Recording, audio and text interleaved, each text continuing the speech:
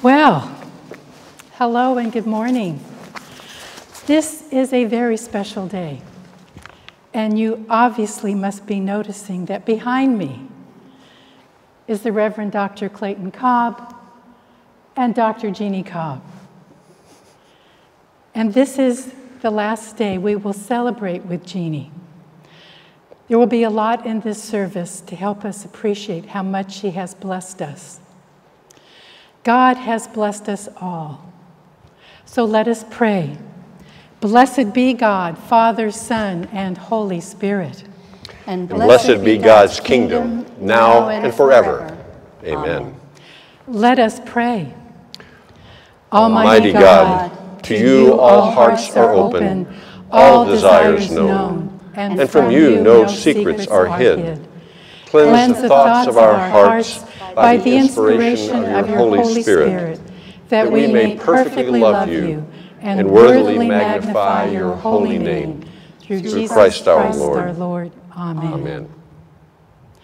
The Lord be with you. And also with you. Let us pray. Grant, O merciful God, that your church, being gathered together in unity by your Holy Spirit, may show forth your power among all peoples to the glory of your name, through Jesus Christ our Lord, who lives and reigns with you and the Holy Spirit, one God, forever and ever. Amen. Amen. A reading from Paul's letter to the Romans. I appeal to you, therefore, brothers and sisters, by the mercies of God, to present your bodies as a living sacrifice, holy and acceptable to God, which is your spiritual worship. Do not be conformed to this world, but be transformed by the renewing of your minds, so that you may discern what is the will of God, what is good and acceptable and perfect. For by the grace given to me, I say to everyone among you, not to think of yourself more highly than you ought to think, but to think with sober judgment, each according to the measure of faith that God has assigned. For as in one body we have many members, and not all the members have the same function, so we who are many are one body in Christ, and individually we are members of one another. We have gifts that differ according to the grace given to us. Prophecy in proportion to faith, ministry in ministering, the teacher in teaching, the exhorter in exhortation, the giver in generosity, the leader in diligence, the compassionate in cheerfulness. Hear what the Spirit is saying to God's people. Good morning. My name is Peter Gothold, and I am Jeannie's son, and this is a reading from Psalm 138. I will give thanks to you, O Lord, with my whole heart. Before the gods, I will sing your praise. I will bow down toward your holy temple and praise your name because of your love and faithfulness. For you have glorified your name and your word above all things. When I called, you answered me. You increased my strength within me. All the kings of the earth will praise you, O Lord, when they have heard the words of your mouth. They will sing of the ways of the Lord, that great is the glory of the Lord. Though the Lord be high, he cares for the lowly. He perceives the haughty from afar. Though I walk in the midst of trouble, you keep me safe. You stretch forth your hand against the fury of my enemies. Your right hand shall save me. The Lord will make good his purpose for me. O Lord, your love endures forever. Do not abandon the works of your hands.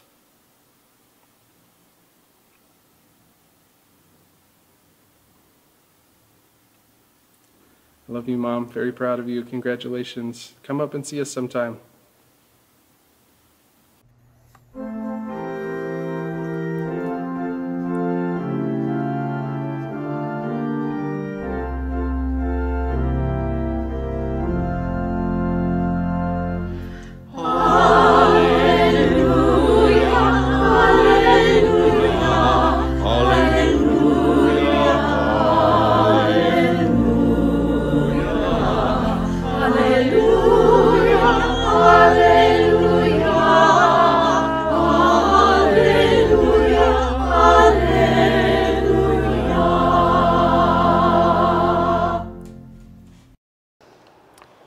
Gospel of our Lord Jesus Christ according to Matthew.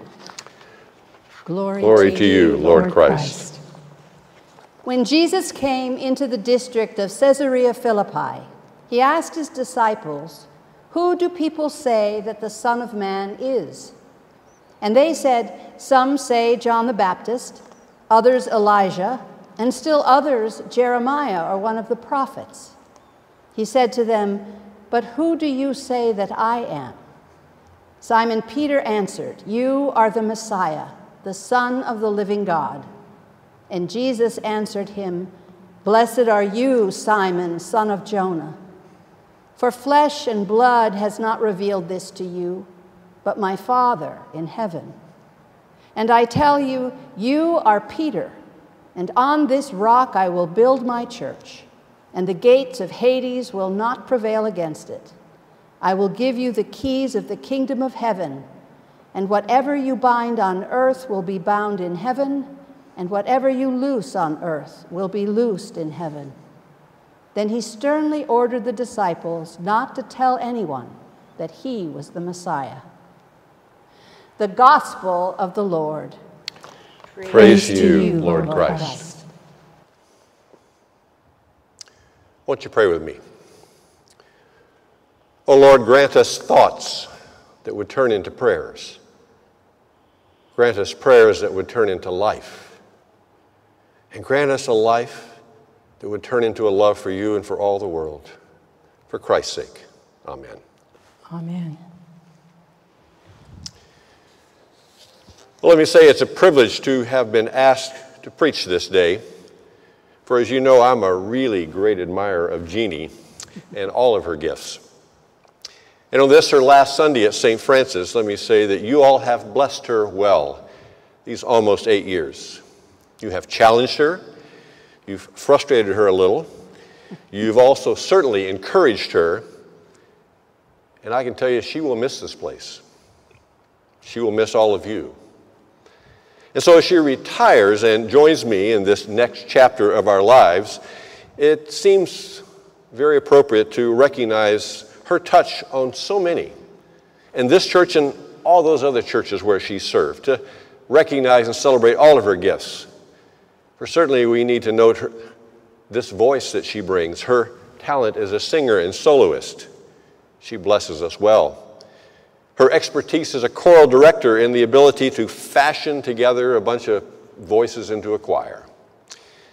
There's certainly her knowledge and leadership as it comes with her doctorate in liturgy and in worship.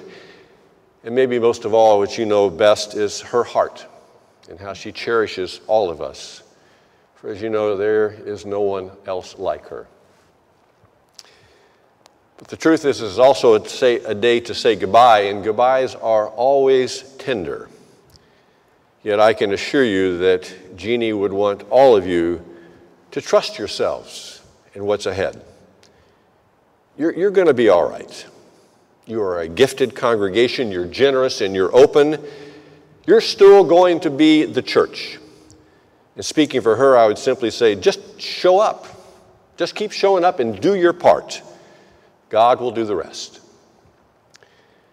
It does bring to mind that story of the choir director who was leaving, going on to other things, and on her last tender Sunday, a woman came up to her clearly inconsolable, tears streaming down her face, and wanting to be helpful, the director tried to reassure her. She told the woman everything was going to be okay. She was sure the next director would be even better. To which the woman blurted out, That's what they said last time. Jeannie would tell you this morning that you're going to like Mark Bittett. He's going to be terrific. He will. But on to the text of this day, this 12th chapter of Romans, particularly this first verse. Paul writes, he says, I appeal to you, brothers and sisters, by the mercies of God, present your bodies as a living sacrifice, holy and acceptable to God which is your spiritual worship. Worship. Spiritual worship. It's, it's what centers us, it is what defines us. But recognize Paul isn't just talking about this space, this hour, this sermon, these sacraments, these prayers. He's saying worship is bigger still. He's saying worship is all of life. For God's greatest hunger God's deepest desire is to meet each of us in all of those places where we find ourselves in here and out there. Places of terror and pain, places of grace and wonder. God is wanting us to know that all of those moments are holy also. All of those thoughts, all those places we go, the things we say and do, all of that is what we present to God because all of it is worship. And when this truth begins to sink in, it begins to dawn on us that worship is not just this moment on a Sunday, but it's every moment. It's today, it's tomorrow, it's the next day. Paul is saying when we begin to get our minds around that, then that is when we'll begin to be transformed. That is what will begin to change us. It will change how we live, how we work and eat and dance and sing, spend our money, relate to each other, how we grieve and fight and laugh. Listen again to these first two verses, but this time from Eugene Peterson's The Message Bible. He writes So here's what I want you to do God helping you. Take your everyday, ordinary life. You're sleeping, you're eating, you're going to work, you're walking around life, and place it before God as an offering. Embracing what God does for you is the best thing you can do for Him. Don't become so well adjusted to your culture that you fit into it without even thinking. Instead, fix your attention on God and you'll be changed from the inside out. I like that. Fix your attention on God and you will be changed from the inside out. The Revised Standard Version uses the word transformed instead of changed, but it's the same word. It's also in Greek the same word in Mark's Gospel used to describe Jesus' moment of transfiguration. That is a complete, radical recentering of the self. It's a different way of being and thinking. And in those quiet moments when we're, when we're honest, isn't that what we all want? Isn't that why we come to worship? Now, I realize there may be those who say they don't really see much of a need for change. They look at themselves and the world around them and they say, what, What's wrong with this?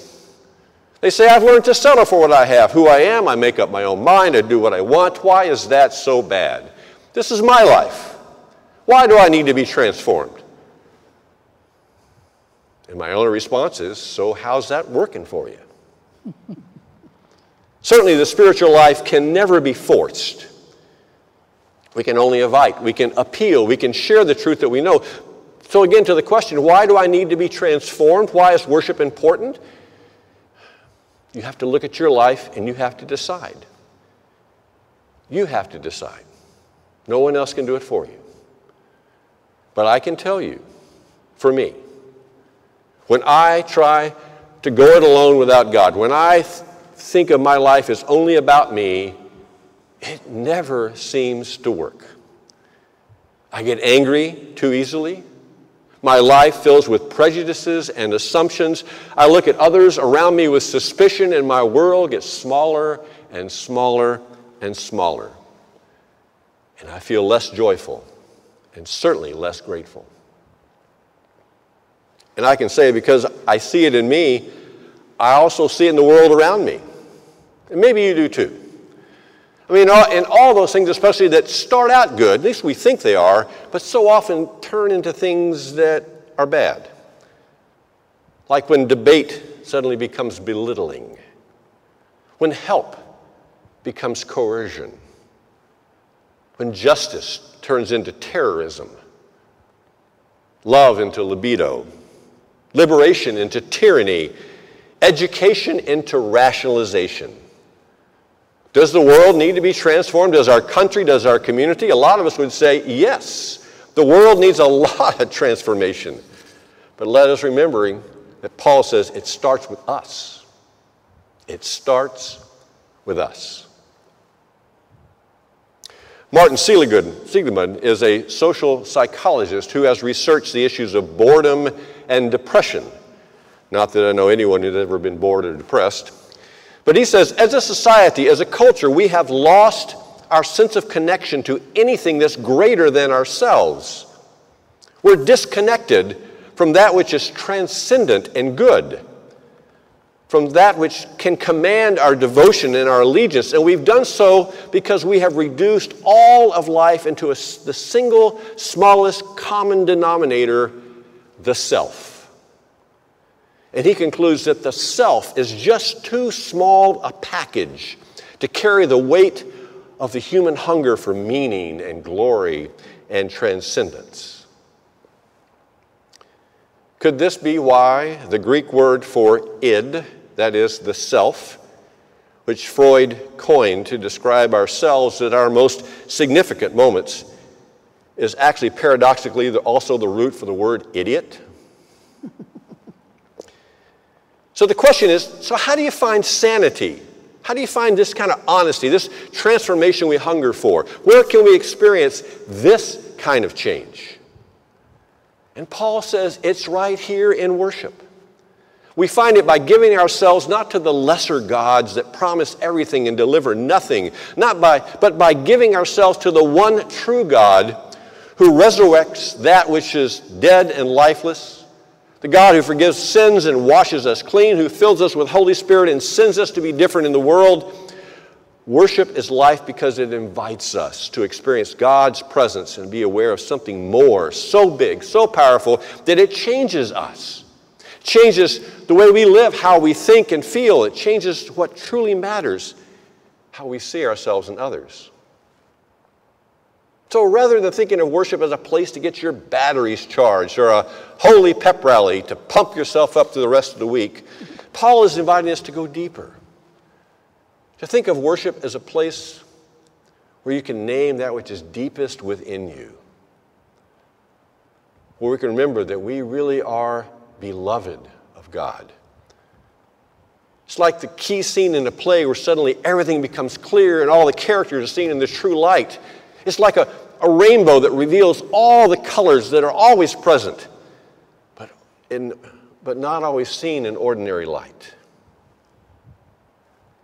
Worship is where not only we see the truth about ourselves, we learn to see the truth in each other, in our humanness, our differences, our gifts, our foibles.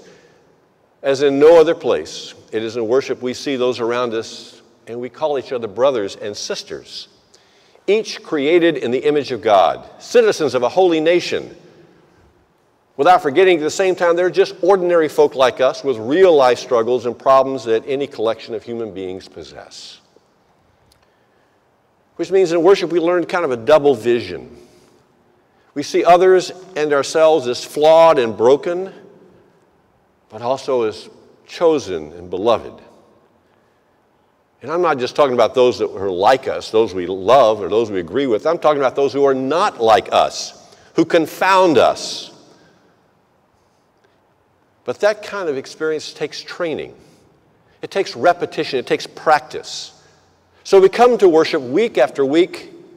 Really, it's a dress rehearsal for the week to come. And I can tell you, if choirs need rehearsal, so do also the children of God. So, what would that kind of worship look like on a Thursday afternoon? Imagine a supervisor of an insurance company. She's a Christian, and she's this day going to conduct one of the annual reviews for one of her employees. A man with certain job responsibilities who's performed some of them well, and others things need to be improved. But because she has been in worship, she sees more than just this. She has sung Psalm 95. Oh, come, let us worship and bow down, kneel before the Lord our Maker. He is our God. We are the people of his pastures. She's reached across the aisle and taken the hands of strangers, saying, The peace of the Lord Jesus Christ be with you. She's heard the scriptures that tell how God said, Let us make humankind in our image. She knows then that this is not just an employee, this is a child of God, and she must speak in a way that honors that. Doesn't mean she will speak only sweetness and sugar. She will tell the truth. And this will inevitably involve pointing out weaknesses as well as strengths. But everything she says will be shaped by what her faith has taught her. This is not just a, a business exercise. This is a chance to honor this person, to speak to him in a way that builds up the love of God and neighbor. That's what we practice here. That's how worship is transforming. So, where do we do this? How do we connect this moment to all those other moments? How, again, does this transformation happen? Paul says this in worship, but I think it's also as we listen, it happens as we pray, and especially as we sing.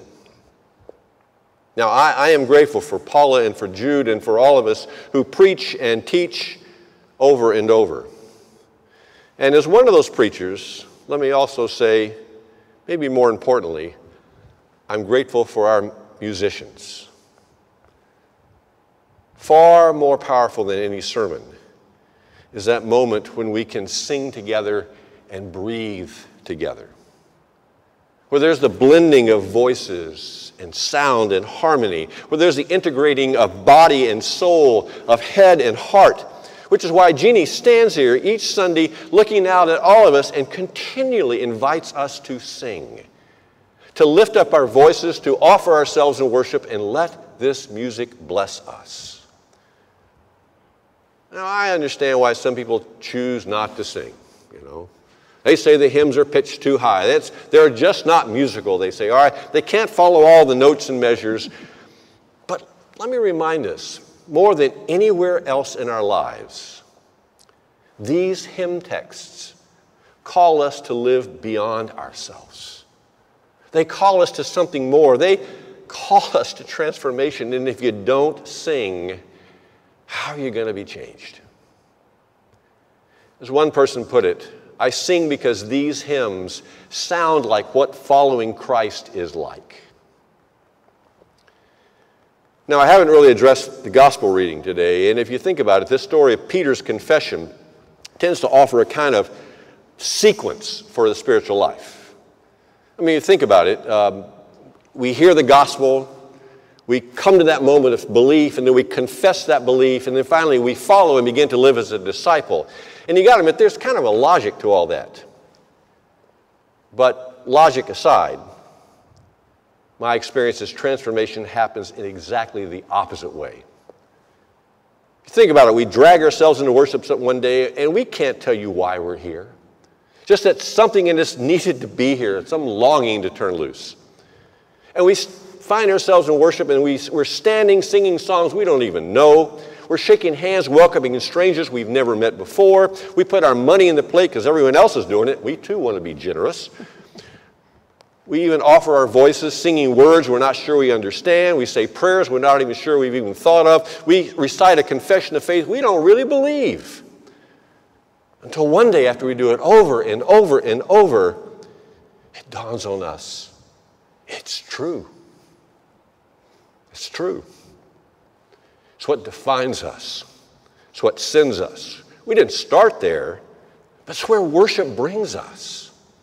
Peter followed Jesus because Jesus asked him to, not because he believed.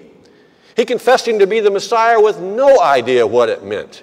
And it wasn't certainly until Jesus was, after he was crucified and risen after being forgiven on the beach in Galilee and called yet one more time, that finally, and we see in the book of Acts, Peter stands on Pentecost morning and as a believer preaches the word of God and people respond. That's why we sing. Not because we understand, not because we're talented, not because we already believe, but because it helps us believe, helps us worship, reminds us who we are and how we're to live. Isn't that what we really want? So listen again Romans 12, verses 1 and 2. So here's what I want you to do God helping you. Take your everyday, ordinary life.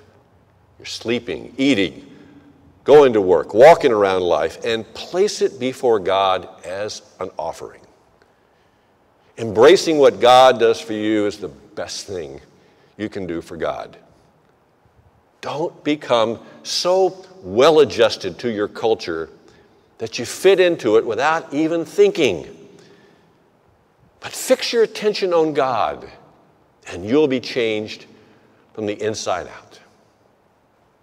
Changed from the inside out. Now, that's something to sing about. May that be God's gift for all of us. Amen and amen. Mother.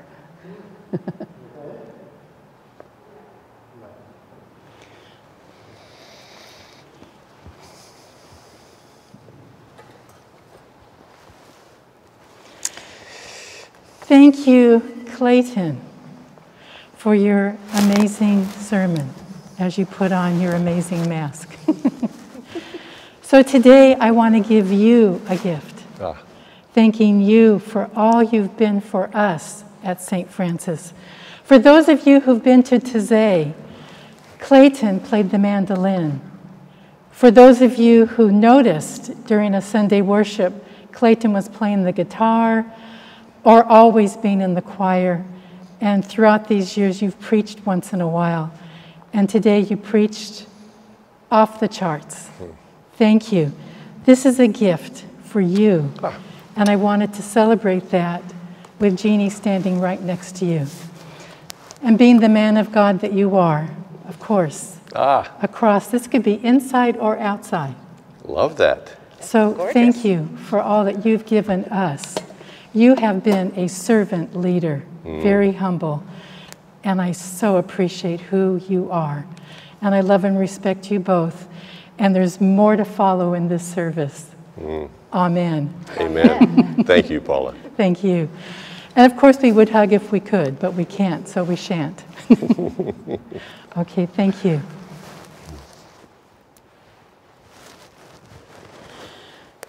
And now let us say together the creed that we have inherited. We believe in one God, the Father, the Almighty, maker of heaven and earth, of all that is seen and unseen. We believe in one Lord Jesus Christ, the only Son of God, eternally begotten of the Father, God from God, light from light, true God from true God, begotten, not made, of one being with the Father. Through him all things were made. For us and for our salvation, he came down from heaven. By the power of the Holy Spirit, he became incarnate from the Virgin Mary and was made man. For our sake, he was crucified under Pontius Pilate. He suffered death and was buried. On the third day, he rose again in accordance with the Scriptures. He ascended into heaven and is seated at the right hand of the Father.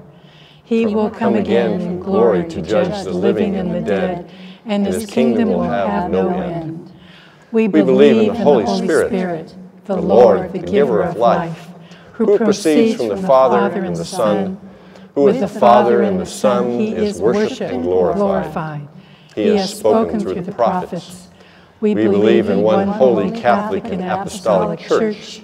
We acknowledge one baptism for the forgiveness of sins. We look for the resurrection of the dead and the life of the world to come. Amen.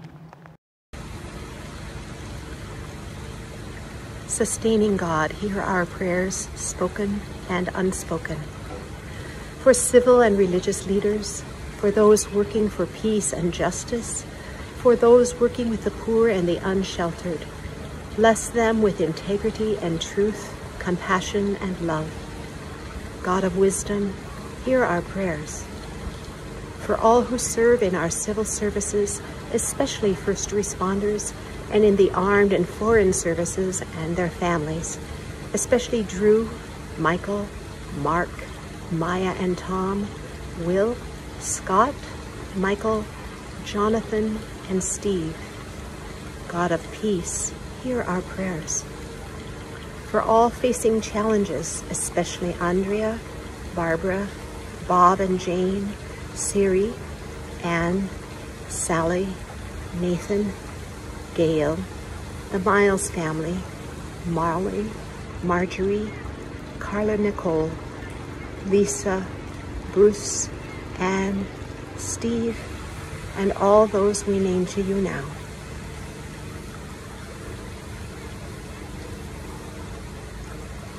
God of all healing, hear our prayers. For those killed or injured in acts of terrorism, injustice, gun violence, abuse, or prejudice of any kind, and from the consequences of diseases and natural disasters. We pray for the healing of those suffering from the coronavirus and those ministering to them. God of protecting love, hear our prayers. For all who anticipate birthdays, anniversaries, and joyful events. God of all we have, hear our prayers. For all those who have died, especially those we name to you now.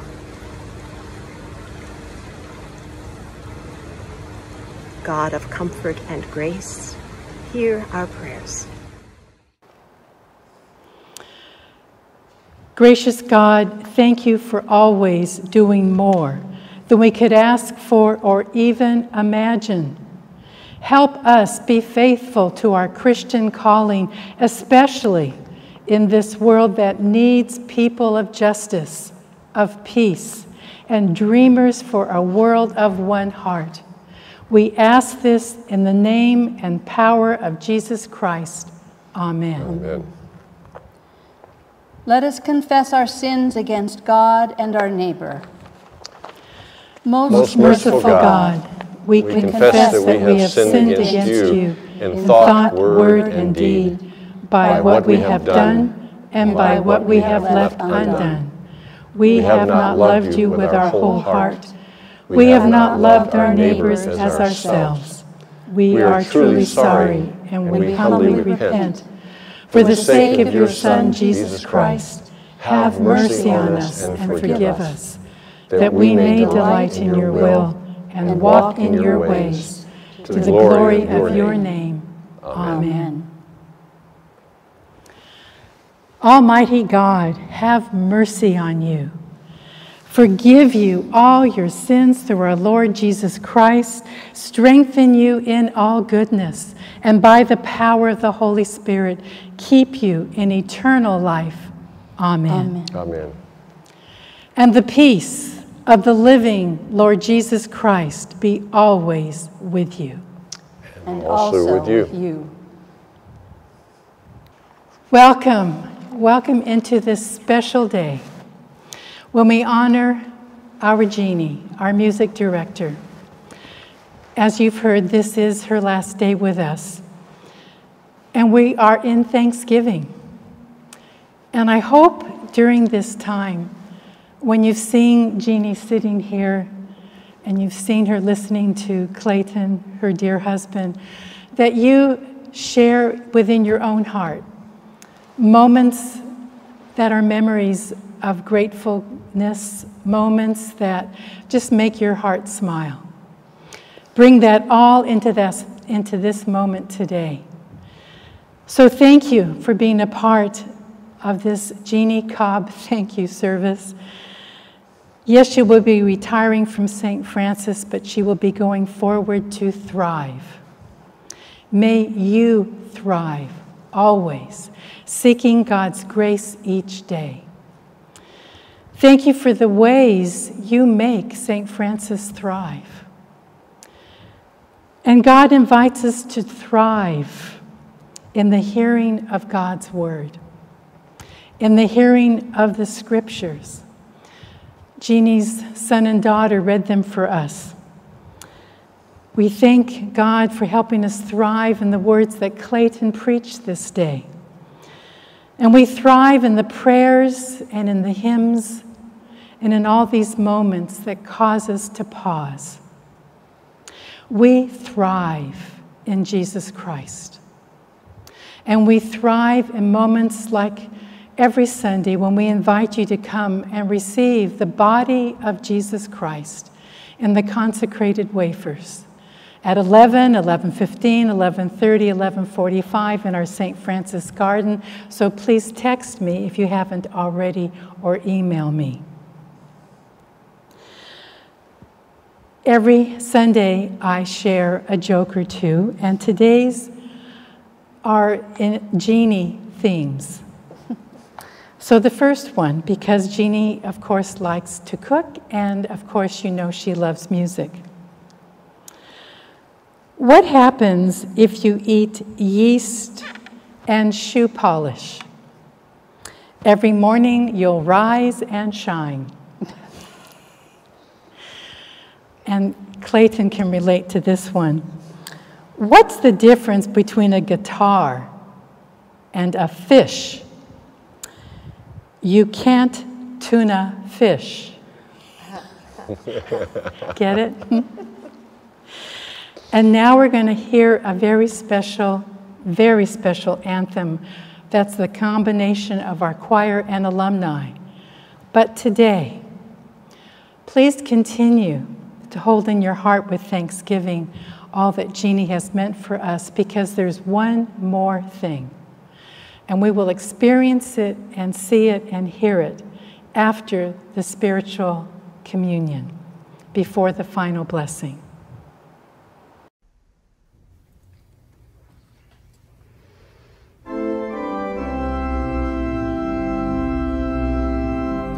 with the voice of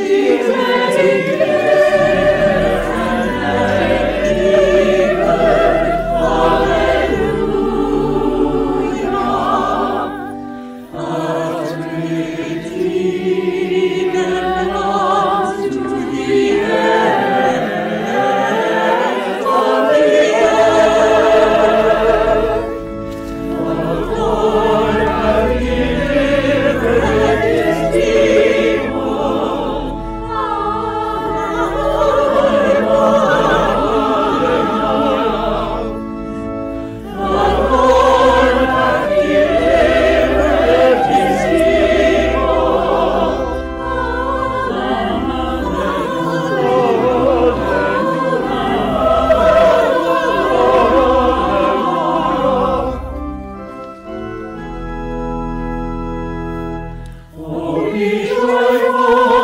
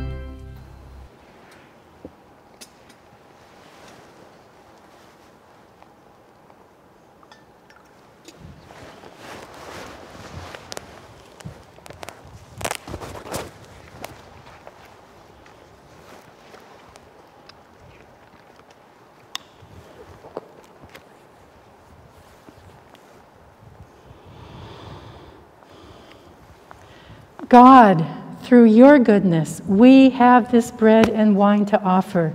They will become for us spiritual food. We, we bless, God, God forever. forever. God, receive our gifts for the work of your church. We bless God forever. God, you have blessed us with joy of the children and families and members of all ages of our parish. We thank you that we can be present spiritually around your table no matter how near or far. We, we bless God forever. God is here. We, we praise God, God together. together. Let us say thank you to God. God, God has, done, done so much for us. O oh God, you made all things and you blessed them. You, you gave us the earth to feed us the sky to open our hearts, the water for us to drink.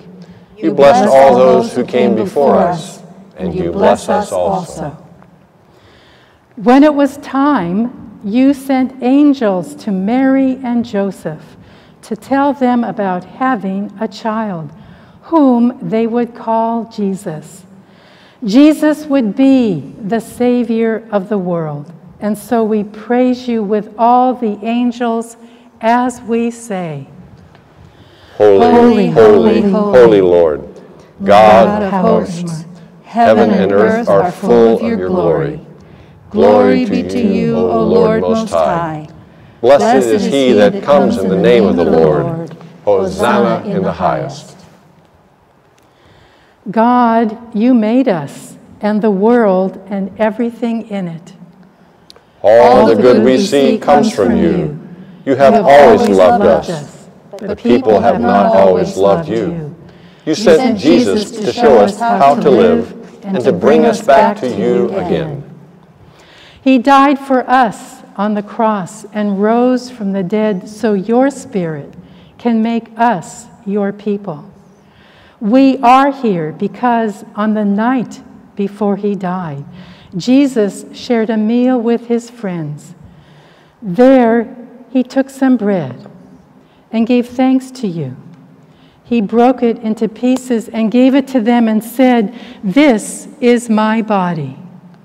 Do this, Do this and, and, know, know that, that, I am with you. you.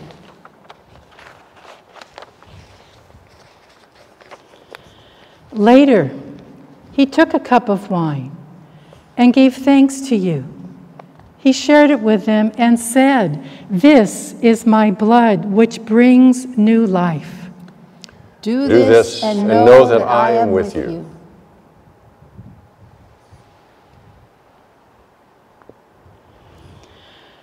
We remember what Jesus has done for us. Jesus, Jesus died, then was raised to new life by you, and is alive forever. forever. Send your Holy Spirit upon this bread and wine so it can be for us the body and blood of Jesus. Through this food, give us the strength to live as your people. Help us care for your world and for each other in the way that Jesus showed us. Help, Help us, us to love God, God love others, serve the world until he comes again with all your people in every time and every land. We worship you, we praise you, we thank you, and we bless you. Amen. Amen.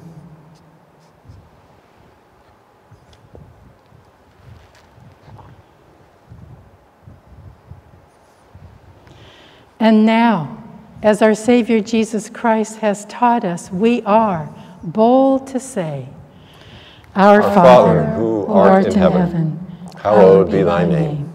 Thy kingdom come, thy will be done on earth as it is in heaven. Give us this day our daily bread, and forgive us our trespasses, as we forgive those who trespass against us. And lead us not into temptation, deliver us from evil. For thine is the kingdom, and the power, and the glory forever and ever. Amen.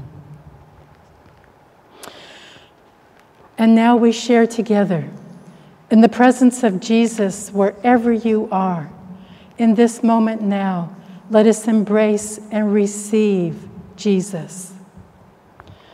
And so we pray together. My, My Jesus, Jesus, I believe that you are truly present in the blessed sacrament of the altar. I love you above all things and long for you in my soul. Since I cannot now receive you sacramentally, come at least spiritually into my heart, as though you have already come. I embrace you and unite myself entirely to you. Never permit me to be separated from you. Amen. Amen.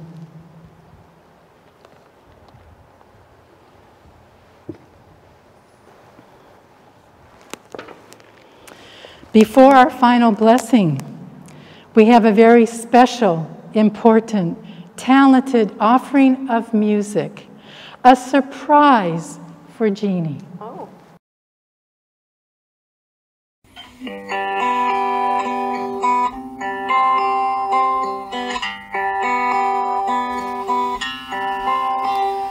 Your baton is packed, you're ready to go.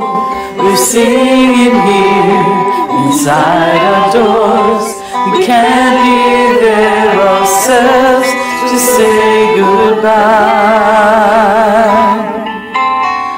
Though the virus is raging, we want you safe. To that end, do what it takes. We'll miss you so darn much, we'll probably cry. So be well, enjoy retirement. Tell us that you'll be content.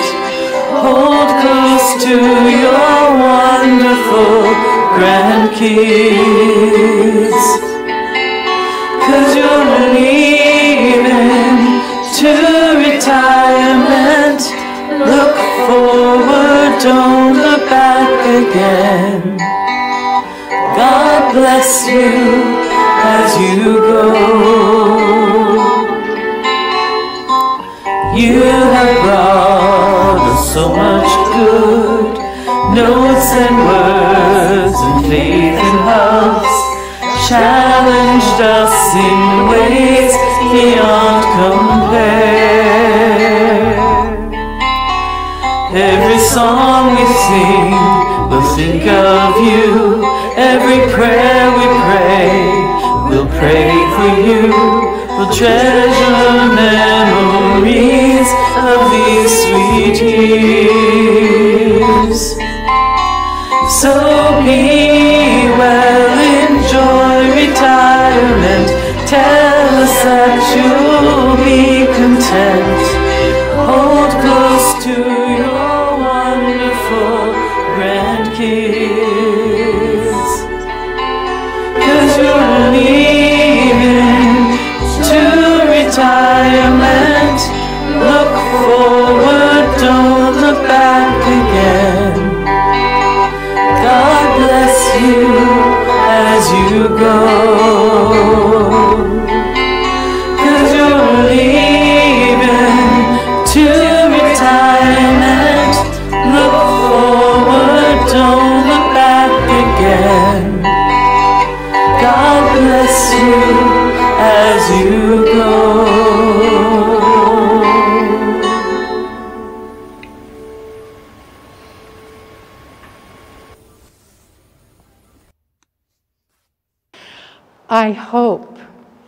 appreciated all that went into this amazing production that you just experienced.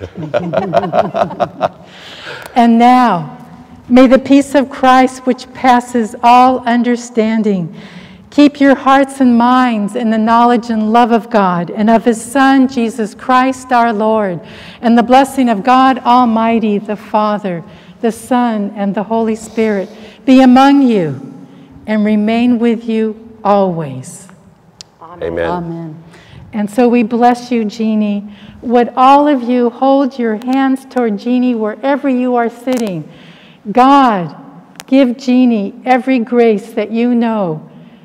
She has given so much to us Give her every grace you know that she can be filled again and renewed and enlivened so she can go forth now and thrive in her retirement. And we thank you, Jeannie, and we love you. And there would have been a standing ovation in the church. and so now we will leave. Mm. Come back.